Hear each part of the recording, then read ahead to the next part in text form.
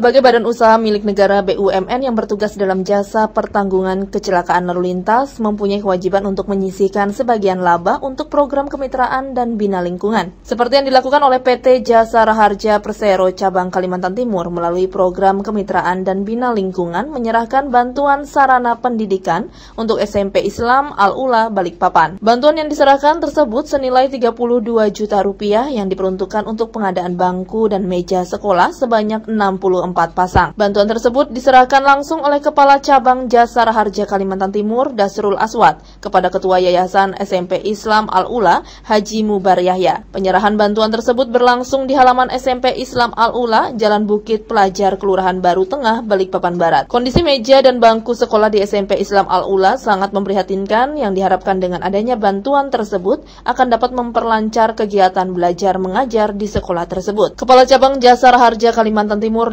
Dasrul Aswad mengatakan bahwa sebagai badan usaha milik negara atau BUMN PT Jasara Harja mempunyai kewajiban untuk menyisihkan sebagian laba usahanya untuk program kemitraan dan bina lingkungan. Yang diharapkan dengan adanya bantuan pendidikan tersebut akan dapat memperlancar pelaksanaan proses belajar mengajar di SMP Islam Al-Ula, apalagi kondisi meja dan bangku di sekolah tersebut sangat memprihatinkan dan butuh perbaikan. Ini salah satu program Jasara Harja, itu juga merupakan program nasional ya bahwa setiap BNN itu diperintahkan oleh Kementerian BNN untuk menyisihkan laba usahanya ya untuk kegiatan program PKBL.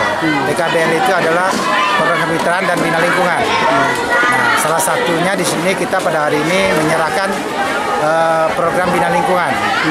Kita membantu uh, sarana dan prasarana pendidikan ini untuk uh, perbaikan uh, kursi meja belajar mengajar siswa siswa ini itu dengan nilai 32 juta. Sementara itu, Kepala SMP Islam Al-Ula Abdul Risat mengatakan kondisi meja dan bangku di SMP Islam Al-Ula banyak yang mengalami kerusakan dan butuh pergantian. Apalagi pada tahun ajaran 2018-2019 ini, jumlah siswa yang diterima berjumlah sebanyak 90 siswa yang tentunya membutuhkan tambahan meja dan bangku belajar. Uh, mobiler, jadi meja dan kursi siswa hmm. uh, sejumlah 64 pasang dengan nominal bantuannya 32 juta rupiah. Memang kondisi meja kursi kita kemarin sudah pada rusak. Selain itu juga karena alhamdulillah kan tahun ini kita nerima siswa 90 siswa yang kita targetkan terpenuhi. Tapi memang ada perlu penambahan meja kursi baru dan alhamdulillah dipenuhi sama jasa raja yang kita ajukan tahun lalu kita ngajukannya dan tahun ini uh, realisasinya baru hari ini kita dapatkan alhamdulillah. Sementara itu Ketua Yayasan SMP Islam Al-Ula Haji Mubar Yahya mengapresiasi bantuan yang diberikan oleh PT Jasa Raharja cabang Kalimantan Timur. Dirinya berharap langkah berupa dapat dilakukan oleh perusahaan lainnya di Balikpapan mengingat fasilitas pendidikan di sekolah tersebut butuh perbaikan dan penambahan sarana dan prasarana sekolah. Ya, kita berharap bahwa dengan adanya bantuan Jasa Raharja ini melalui media TV Beruang, mudah-mudahan yang lain melihat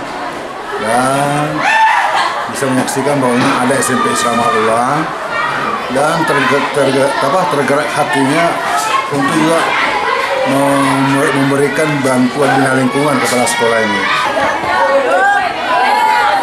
Tim Liputan TV Beruang melaporkan.